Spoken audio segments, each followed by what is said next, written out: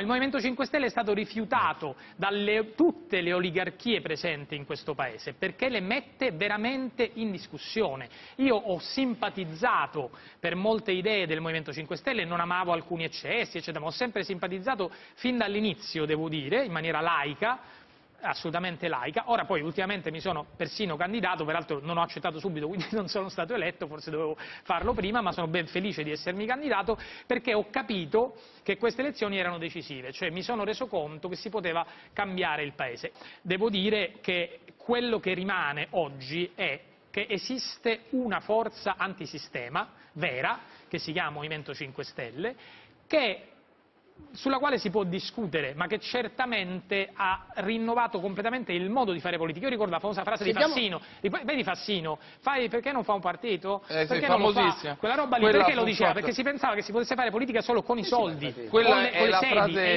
invece Beppe Grillo e Gianroberto Casaleggio, che era un genio, ricordiamolo, visionario, hanno fatto un partito che è arrivato persino al governo, cosa che era anche complicata da pensare, senza soldi, senza sedi di partito, ma con le idee. E la Esatto. democrazia diretta, per chiudere, Eh. cosa può significare? Vedi il caso di Rousseau. Per la prima volta in questo paese qualunque cittadino può proporre una sua legge, una legge, una riforma, metterla in quella piattaforma, può essere discussa da qualunque altro cittadino e si può fare una proposta di legge oggi tramite i parlamentari, come è giusto e ci mancherebbe altro che sia, che può cambiare in meglio la vita di questo paese. Un padre che non può vedere la sua bambina perché la legge in Italia non funziona benissimo per i poveri padri separati e, e fa una proposta di legge su Rousseau. È un inizio di democrazia diretta. Riccardo Fraccaro, che è un ministro Biondo, parlamentare, Ci diamo biondo. si Detta occupa così sembra un questo. po' Alice nel No, Paese no, delle Meraviglie, eh, no, c'è un mondo sì. anche straordinario, popolato da lecca lecca, in cui tutti Perché? lecca Allora, dove stavano i lecca di- lecca mia No, un mondo di grande favola in cui va tutto benissimo, in cui non ci sono ombre anche nel meccanismo di Rousseau di selezione della classe dirigente.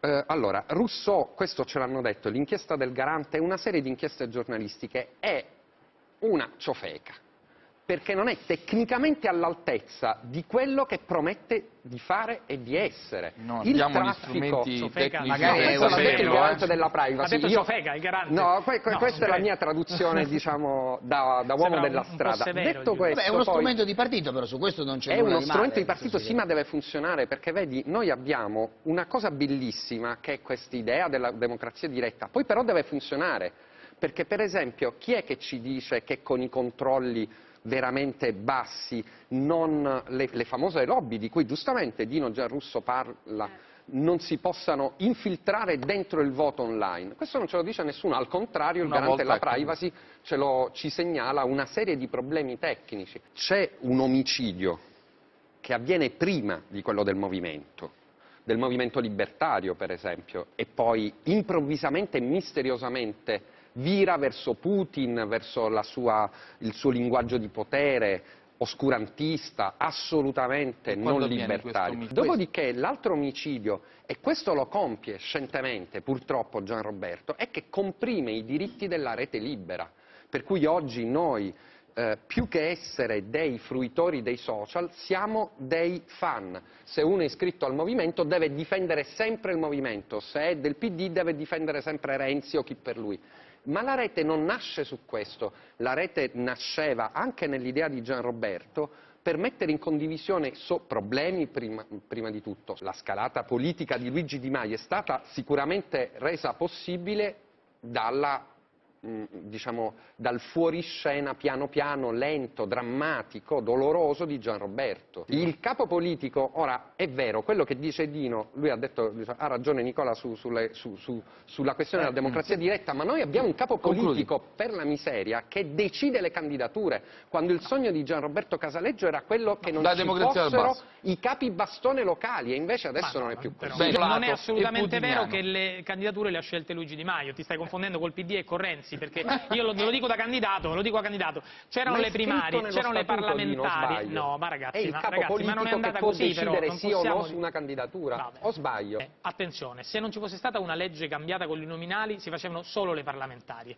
ok? Che sono state fatte regolarmente e pulitamente. Oh, e a perfetto. differenza di altri partiti non c'è stato un segretario che, che sapete come sono andate le... eh, non per fare il solito Eh, discorso, come ma... sono andate? ah, lo sai come sono andate tu come sono andate le, le uninominali, le, le candidature a proporzionale uninominale nel Partito Democratico, Ma al no, l'abbiamo Mazzarello, le raccontato. crisi di nervi, Con le telefonate, decapitazione i alle pianti. 4 del Vuoi che ti dico i mattino? miei colleghi giornalisti Però che erano l'abbiamo convinti di essere raccontato- in lista? abbiamo raccontato eh, facciamo tutto. nomi e cognomi, Alle ci 4 divertiamo. del mattino allora, signori, c'è un problema importante. La democrazia a- al 100.000% è un'utopia, come è Oh. un'utopia il comunismo al 100.000%, tutte le cose, i sistemi perfetti, la legge dei gas perfetti di Gaius Sack, ok? Si chiama legge dei gas perfetti, ma i gas perfetti in natura non esistono, quindi la legge ha delle varianti. ma no, allora, è il partito, è il Movimento tu 5 stai Stelle, è il movimento politico, è la forza politica, secondo me, più democratica che esiste da Bene. 50 anni a questa parte.